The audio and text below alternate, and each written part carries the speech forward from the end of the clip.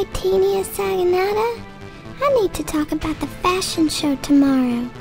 I mean, I appreciate you letting me be a model and all, but I'm just a dwarf tapeworm. I thought the minimum strobila height to be a model was 800 proglottids. Well, I only have 200 and that's on a good day.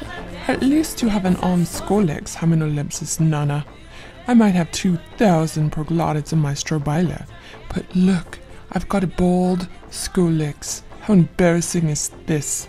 No hooks. I don't even have a rostellum.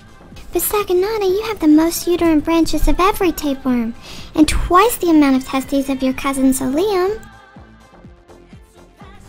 Thank you, Nana. You are very sweet.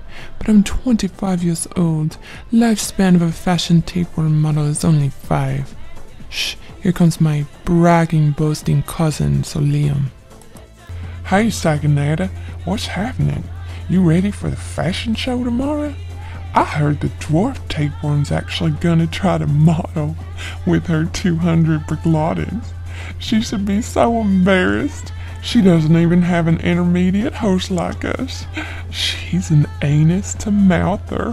hey, Taenia Solium, I heard everything you said, idiot. Don't pick on me because you're jealous of your cousin Saginata. I mean, hello, Saginata can have up to 2,000 proglottids. You can only have up to a 1,000.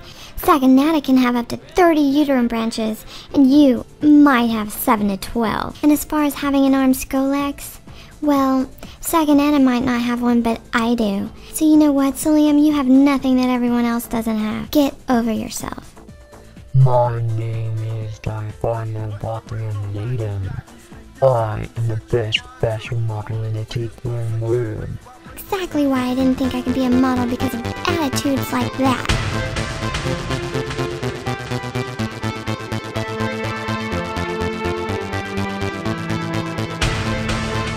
She is modeling a pink mini skirt with a shoe. She is 50 millimeters in length with 200 proglottids. Her rostellum is sporting armed hooks. She enjoys living in the ileal part of the intestine and she is transferred via hand to mouth. Next we have Taenia Solium. She is up to 8 meters in length and can have up to 1,000 proglottids. She has less uterine branches than the rest, only 7 to 12 lateral branches in her proglottids. Taenia Solium prefers to develop inside of a pig and is transferred to a human via uncooked meat. However, she can, when ingested by an egg, become sister cysticercotic in a human. Next we have Taenia saginata. She is the most common of the large tapeworms. Her uterine branches have up to 30 uterine branches. She can get up to 10 meters in length and have up to 2,000 proglottids in her strobila and can have up to 80,000 eggs in her proglottid. Next we have Diphyllobothrium latum. His proglottids are the widest of all of the proglottids. He can retain all of his proglottids and accumulate up to 3,000 in his strobila. He is the largest tapeworm in humans. Diphylo prefers to develop in a copepod, get transferred to a fish, and then to a human via uncooked fish. Well, that's all we have for our tapeworm fashion show today.